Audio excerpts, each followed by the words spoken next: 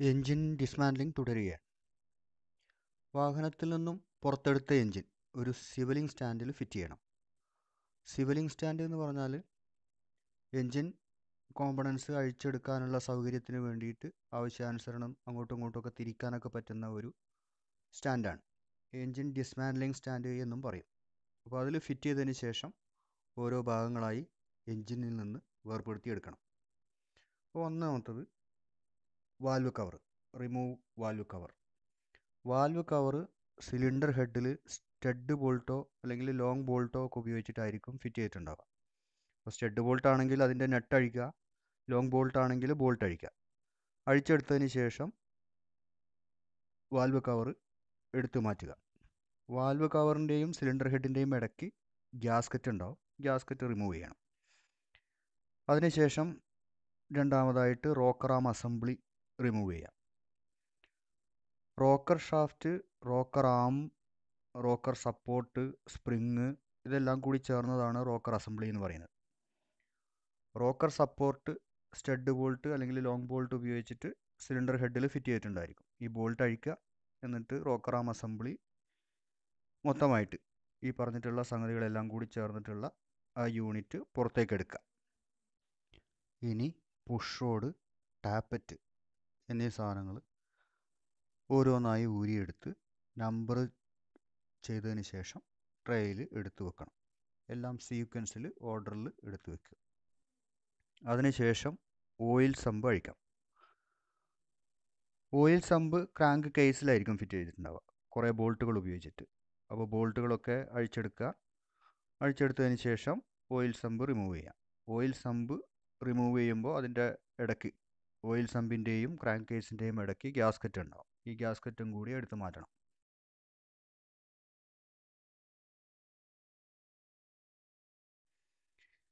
അതിനുശേഷം cylinder head remove ചെയ്യാം. അപ്പോൾ സിലിണ്ടർ ഹെഡ് ഇതേപോലെ സ്റ്റഡ് ബോൾട്ടോ അല്ലെങ്കിൽ ലോങ് ബോൾട്ടോ ഉപയോഗിച്ചിട്ടായിരിക്കും എൻജിൻ ബ്ലോക്കുമായിട്ട് ഫിറ്റ് ചെയ്തിട്ടുണ്ടാവുക. അപ്പോൾ ഈ ബോൾട്ടുകളൊക്കെ ആദ്യം ലൂസാക്കണം ബോൾട്ട് ലൂസാക്കുന്നതിനൊരു സീക്വൻസ് ഉണ്ട്. ഏതെങ്കിലും ബോൾട്ടുകൾ അഴിച്ചാൽ പോരാ. അപ്പോൾ സിലിണ്ടർ ഹെഡിന്റെ സാധാരണയായിട്ട് അതിന്റെ സെന്റർ മുതൽ രണ്ട് ഭാഗത്തേക്കും രണ്ട് എൻഡിലേക്കും ക്രോസ് വൈസ് ആയിട്ട് ഓരോരോ ബോൾട്ടുകളായിട്ട് ലൂസാക്കണം. അപ്പോൾ എൻജിൻ മെയിന്റനൻസ് മാനുവലിൽ അത് കൃത്യമായിട്ട് അതിന്റെ സീക്വൻസ് എന്താണെന്നുള്ളത് രേഖപ്പെടുത്തിയിട്ടുണ്ടാവും. അപ്പോൾ ഏത് എൻജിനാണോ അഴിക്കുന്നത് അതിന്റെ മാനുവൽ നോക്കി അതിന്റെ സീക്വൻസ് എന്താണെന്ന് മനസ്സിലാക്കിയിട്ട് വേണം. സിലിണ്ടർ ഹെഡ് ബോൾട്ടുകൾ ലൂസാക്കാൻ. അപ്പോൾ ആ ബോൾട്ടുകളെല്ലാം ലൂസാക്കി അതിനുശേഷം ഓരോ ബോൾട്ടുകൾ ഊരിയെടുത്ത് സിലിണ്ടർ ഹെഡ് നേരെ മുകളിലേക്ക് ലിഫ്റ്റ് ചെയ്ത് റിമൂവ് ചെയ്യണം. സിലിണ്ടർ ഹെഡും എടുത്ത് മാറ്റി വെക്കാം.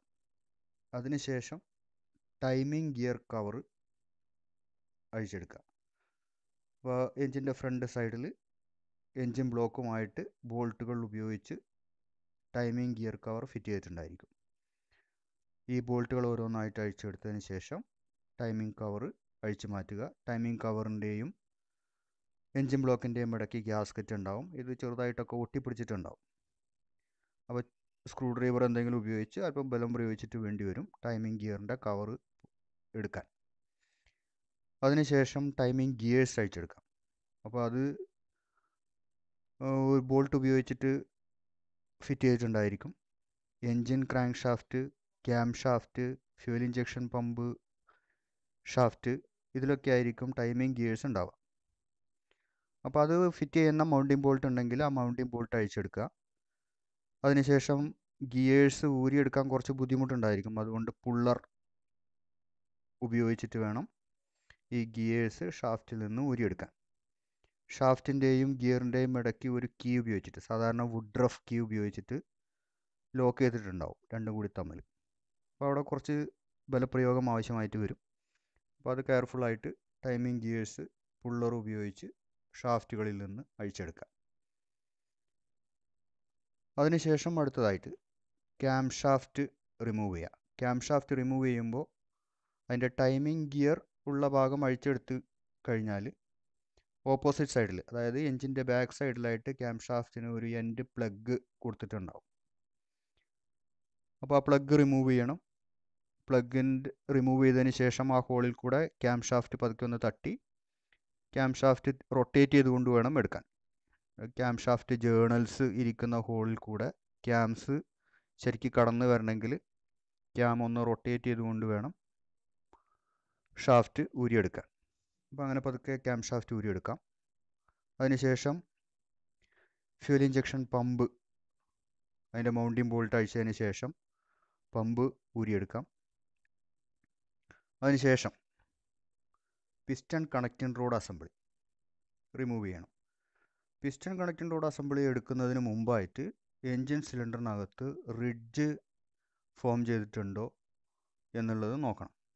റിഡ്ജ് എന്ന് പറഞ്ഞാൽ പിസ്റ്റൺ സിലിണ്ടറിനകത്ത് റെസിപ്രോക്കേറ്റ് ചെയ്യുമ്പോൾ അതിന്റെ മുകൾ ഭാഗത്ത് തേയ്മാനം സംഭവിക്കുന്നതിന്റെ ഭാഗമായിട്ട് ഉണ്ടാകുന്ന ഒരു വരമ്പ് പോലെയുള്ള ഭാഗമാണ് നമ്മൾ വിരൽ വെച്ച് അതിനകത്തൊന്ന് ടച്ച് ചെയ്ത് നോക്കുമ്പോൾ റിഡ്ജ് ഉണ്ടോ എന്നുള്ളത് മനസ്സിലാവും. അപ്പോൾ അങ്ങനെ ഉണ്ടെങ്കിൽ റിഡ്ജ് കട്ടർ ഉപയോഗിച്ച് റിഡ്ജ് ചുരണ്ടി കളഞ്ഞതിന് ശേഷം വേണം പിസ്റ്റൺ പുറത്തേക്ക് എടുക്കാൻ. ഇല്ലെങ്കിൽ പിസ്റ്റൺ പുറത്തേക്ക് തള്ളുമ്പോൾ പിസ്റ്റൺ റിങ് ഈ റിഡ്ജിൽ തട്ടിയിട്ട് പൊട്ടിപ്പോവാൻ സാധ്യതയുണ്ട്. അപ്പോൾ റിഡ്ജ് റിമൂവ് ചെയ്തതിന് ശേഷം വേണം അത് ഊരിയെടുക്കാൻ. ഇനി പിസ്റ്റൺ കണക്റ്റിംഗ് റോഡ് അസംബ്ലി അഴിച്ചെടുക്കാൻ വേണ്ടി ആദ്യം ക്രാങ്ക് ഷാഫ്റ്റ് റൊട്ടേറ്റ് ചെയ്ത് പിസ്റ്റൺ ബി ഡി സിയിൽ കൊണ്ടുവരിക ബി ഡി ബി ഡി സിയിൽ എത്തിയ പിസ്റ്റണിന്റെ കണക്റ്റിംഗ് റോഡ് ബിഗന്റെ ക്യാപ്പ് അഴിക്കാൻ സൗകര്യമായിരിക്കും. അപ്പോൾ ആ ക്യാപ്പ് അഴിക്കുക. അഴിച്ചെടുത്തതിന് ശേഷം ക്രാങ്ക് ഷാഫ്റ്റ് വീണ്ടും റൊട്ടേറ്റ് ചെയ്ത് പിസ്റ്റൺ ടി ഡി സിയിലേക്ക് എത്തിക്കാം ടി ഡി സിയിലെത്തിയതിന് ശേഷം പതുക്കെ കണക്ഷൻ റോഡിൽ നിന്ന് ക്രാങ്ക് ഷാഫ്റ്റിന്റെ ക്രാങ്ക് പിന്ന് ഒഴിവാക്കാം ഒഴിവാക്കിയതിന് ശേഷം ബിഗ് എൻഡിൽ ഒരു വുഡൻ ഹാൻഡിൽ ഉപയോഗിച്ച് ഹാമറിന്റെ ഹാൻഡിലൊക്കെ ഉപയോഗിക്കാം. പൊടിയൊന്നുമില്ലാതെ ഒന്ന് തുടച്ച് വൃത്തിയാക്കിയതിന് ശേഷം ഒന്ന് പിടിച്ച് തള്ളിയാൽ മതി. അപ്പോൾ connection rod big end big എൻഡിൽ വുഡൻ ഹാൻഡിൽ വെച്ച് തള്ളുമ്പോൾ പിസ്റ്റൺ സിലിണ്ടറിന്റെ മുകൾ ഭാഗത്തു കൂടി പുറത്തേക്ക് വരും. അപ്പോൾ അങ്ങനെ പുറത്തേക്ക് തള്ളി റിലീസ് ചെയ്ത് എടുക്കാം. എടുത്തതിന് ശേഷം പിസ്റ്റണിലും കണക്റ്റിംഗ് റോഡിലും കണക്റ്റിംഗ് റോഡ് ബിഗ് എൻഡ് ക്യാപ്പിലും നമ്പർ ഇട്ടിട്ടുണ്ടോ എന്നുള്ളത് ശ്രദ്ധിക്കണം. ഇല്ലെങ്കിൽ നമ്പർ ഇടണം. അപ്പോൾ ഒന്നാമത്തെ സിലിണ്ടറിന് ഒന്ന് എന്ന നമ്പർ കൊടുക്കാം. ഒന്നാമത്തെ സിലിണ്ടറിലുള്ള അതുമായിട്ട് ബന്ധപ്പെട്ട ഈ പറഞ്ഞ ഭാഗങ്ങൾക്കെല്ലാം മാച്ചിങ് നമ്പർ കൊടുക്കാം. അപ്പോൾ ഇതേപോലെ ക്രാങ്ക് ഷാഫ്റ്റ് റൊട്ടേറ്റ് ചെയ്തുകൊണ്ട് മറ്റ് സിലിണ്ടറുകളിലെ പിസ്റ്റൺ കണക്റ്റിംഗ് റോഡ് അസംബ്ലി അഴിച്ചെടുക്കാം. അതിനുശേഷം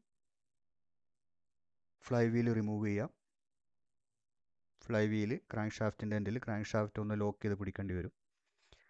ഫ്ലൈ വീൽ അസംബിൾ ചെയ്തിട്ടുള്ള ബോൾട്ട് ലൂസ് ചെയ്ത് ഫ്ലൈ വീൽ പുറത്തേക്ക് എടുക്കുക അതിനുശേഷം ക്രാങ്ക് ഷാഫ്റ്റ് അഴിച്ചെടുക്കാം. ക്രാങ്ക് ഷാഫ്റ്റ് അഴിക്കുന്നതിന് അതിന്റെ മെയിൻ ബെയറിംഗ് ക്യാപ്പുകൾ അഴിച്ചെടുക്കണം. സെന്ററിൽ ഉള്ള മെയിൻ ബെയറിംഗ് ക്യാപ്പ് ബോൾട്ട് ആദ്യം ഒന്ന് ലൂസാക്കുക. അതിനുശേഷം തൊട്ടടുത്തതും പിന്നെ അതിന്റെ ഓപ്പോസിറ്റ് സൈഡും ആയിട്ട് എൻഡിലേക്ക് എല്ലാ ബോൾട്ടുകളും ആദ്യം ഒന്ന് ലൂസ് ചെയ്യുക. അതിനുശേഷം ബോൾട്ടുകളൊക്കെ അഴിച്ചെടുത്തതിന് ശേഷം ക്രാങ്ക് ഷാഫ്റ്റ് ലിഫ്റ്റ് ചെയ്ത് പുറത്തേക്ക് എടുക്കുക. ഇങ്ങനെ അഴിച്ചെടുത്ത ഭാഗങ്ങളെല്ലാം കൃത്യമായ സീക്വൻസിൽ ട്രേയിൽ സൂക്ഷിക്കുക. അപ്പോൾ എൻജിൻ ഡിസ്മാൻലിങ് പൂർത്തിയായി. ഇനി അറ്റാച്ച് ചെയ്ത വീഡിയോ കൂടി കാണാം യൂട്യൂബിൽ നിന്നും കൂടുതൽ വീഡിയോസ് കാണാൻ ശ്രമിക്കാം കൂടുതൽ വ്യക്തമായിട്ട് മനസ്സിലാക്കാൻ ശ്രമിക്കാം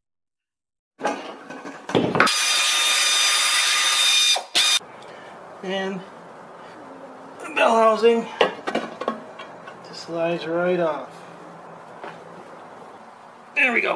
Comes right off.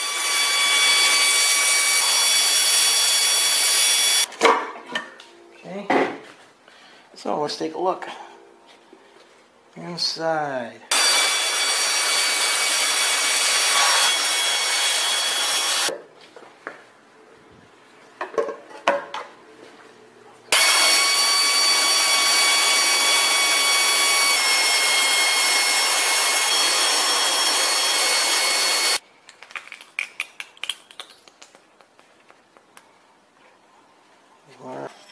So take them out in order and keep them all in the same order.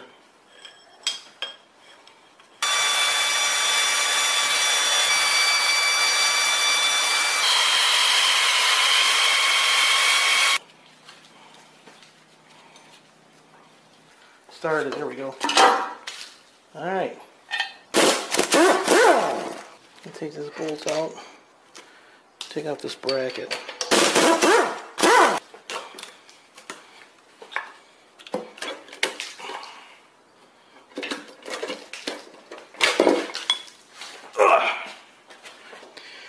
All right, I'll do the same thing for the other side. Here we go.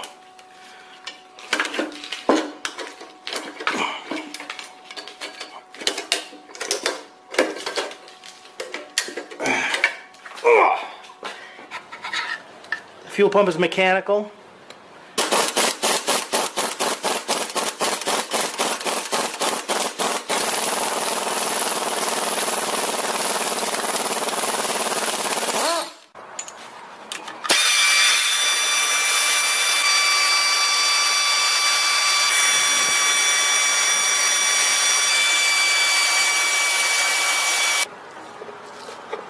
There we go. Let it come off. And there we go. Pull it off.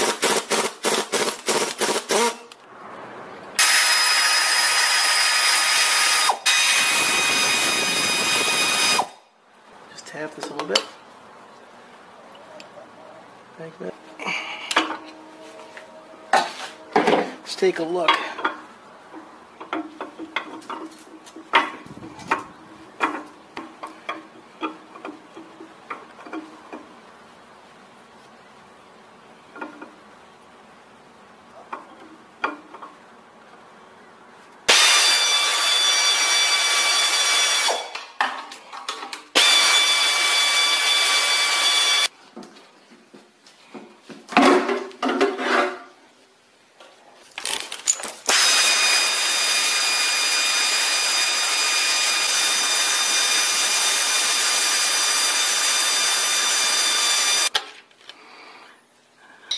All right, this piston came out.